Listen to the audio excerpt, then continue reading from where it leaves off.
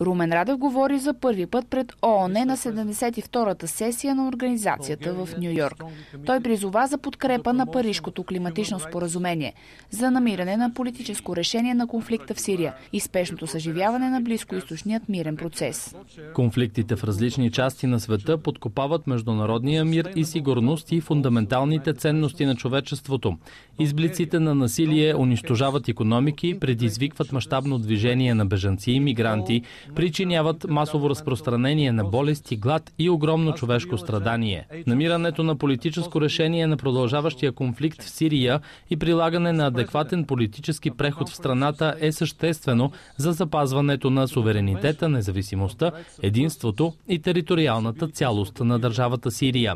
България потвърждава позицията си, че формулата за решение с две държави остава реалистична за Израело-палестинския конфликт. Друг източник на дълбоки опасения за моята страна е ситуацията в източна Украина, която за съжаление остава крайно нестабилна, въпреки периодичните споразумения за спиране на огъня.